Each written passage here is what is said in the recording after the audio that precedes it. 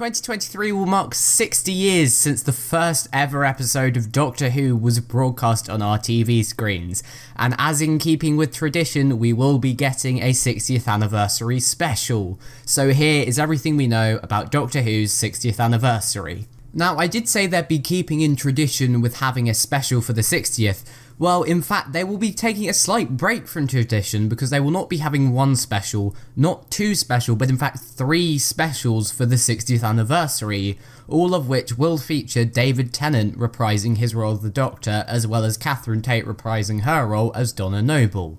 All three of these specials will presumably be written by Russell T Davies, the returning showrunner who was announced in September of 2021. The first special will be directed by the best Doctor Who director of all time, Rachel Talalay, and the third will be directed by experienced newcomer Chanya Button. The second special doesn't currently have a known director attached to it, although I wouldn't be too surprised if Rachel Talalay was also directing that one as well. So let's talk about the cast of the specials. Obviously, as mentioned earlier, David Tennant will be reprising his role as the Doctor. However, he's probably not playing the 10th Doctor and more likely playing a new incarnation of the Doctor. I have a whole other video about this, so you can go and search it out if you want to. Donna will be returning, obviously played by Catherine Tate, but along with her, we have her family. Jacqueline King was spotted on set reprising her role as Sylvia Noble, Donna's mother, and more importantly, Bernard Cribbins was spotted on set reprising his role as Wilfred Mott, which is just horrendously exciting. He is in his 90s now, so it's amazing he's even come back to do this. We also know that Karl Collins will be reprising his role as Donna's husband, Shaun Temple, from The End of Time, and in a new addition to the Noble family, we have Yasmin Finney joining the cast as Rose. Not Billie Piper's Rose recast, but a new character called Rose, who is Donna and Shaun's daughter. And that's just extremely interesting and gives you an idea of how far after the end of time this story takes place. The other only confirmed member of the cast we have is Neil Patrick Harris, Hollywood star playing what seems to be the main villain of the three specials who we believe to be the Toymaker.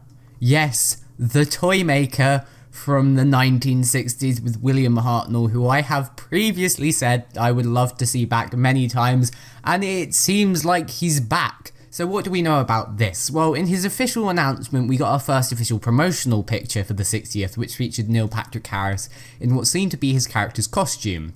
As many people pointed out, he looked very much like he was some sort of maker, and the toy maker was a very quick suggestion by people. The very next day we saw them setting a setup which was a toy shop, which was supposedly supposed to look like a street in London. It even said Toy Maker of the Year on the side of it, what more evidence do you need? And then Neil Patrick Harris was spotted filming in a completely different costume to his first promotional picture. It was a suit look as opposed to the toy makery-ish look he had before. It seemed almost like he was a circus ringmaster in a way and he had a top hat and he was dancing around chaos in the streets and he looks great and I feel like he's going to be a phenomenal villain. But all of this basically confirmed he is the toy maker somehow. We don't know how, why, but he is the toy maker and I am so excited for it. And whilst we're on the subject of the Toymaker, that is the special we have the most indication of actual plot about. There were extras on set and they all seemed to be attacking each other, looting shops, fighting in the streets. And then we had someone on set who was there say they heard something along the lines of about 12 hours ago everyone in the world just started fighting each other. Obviously this is probably something to do with the toy maker. He was seen dancing around throughout the crowds like he just completely owned them. He even tried dancing with the doctor at some point which was hilarious to see being filmed. But it's not just that. Another element was thrown into the mix because then we got some more filming of this same shop except all the actors, all the extras were now in period clothing. There were period cars driving about, but the Doctor and Donna had just come out the shop in their clothes like they were in the modern day, into this just 1920s-esque looking place, which is very interesting because it implies there's a bit more timey-wimey stuff in this story than we may have first thought. It appears that the Doctor and Donna go into this shop and then come out in a different time zone. I don't know if the Toymaker will follow, but if I had to guess, I'd say that the Toymaker appears in this 20s-ish setting in his other look that we saw in the other promo picture. It's also very likely, seeing as this is the third special, the Toymaker is the main villain of all the specials, which means he is most likely the one responsible for causing the Doctor to look like David Tennant once again. It was also in the filming of this special that we heard the Doctor and Donna talking about Mel. We don't know whether they're referring to the Mel, as in the sixth Doctor companion Mel, or just another character called Mel, but it was very interesting as they definitely seem to be referring to a specific Mel. Does this mean Mel appears at some point? Maybe, but not in the third special. If she is going to appear, she's most likely appearing in the second special, but this is in no way confirmed in any capacity. We just heard them talking about a character called Mel in the filming of the third special. Also in this special's filming, something we also saw for the filming for this first special, Unit also showed up as well. Unit seemed to be a big part of this, and they've got a new sort of armory look for their soldiers, lots of set photos of them with trucks and things, so it seems Unit will be a big part of these David Tennant specials. And speaking of the first special, I mentioned earlier that Unit was spotted on set for it, but also we have an indication of who the villain of the first special is going to be, or more specifically the monsters of the first special. And they will be Beep the Meep, and the Wraith Warriors. The Wrath Warriors, no one quite knows how to pronounce that. If you are unfamiliar with the ridiculous sounding Beep the Meep, he is adorable though. He was a villain, spoiler alert by the way, first seen in the pages of the Doctor Who magazine comic The Star Beast. He is a cute, fluffy animal thing which was being pursued by these intergalactic police type people known as the Wraith Warriors. Now, we saw this filming image of the Wraith Warriors filming on the street. They looked like they might be a new monster, people might have been making connections, but then we saw this, a picture of what appeared to be Beep the Meep, and people put two and two together and said, it's Beep the Meep and the Wraith Warriors, they're adapting the Star Beast. Now, we know from the RTD's first era that he did like to adapt certain expanded media stories to television.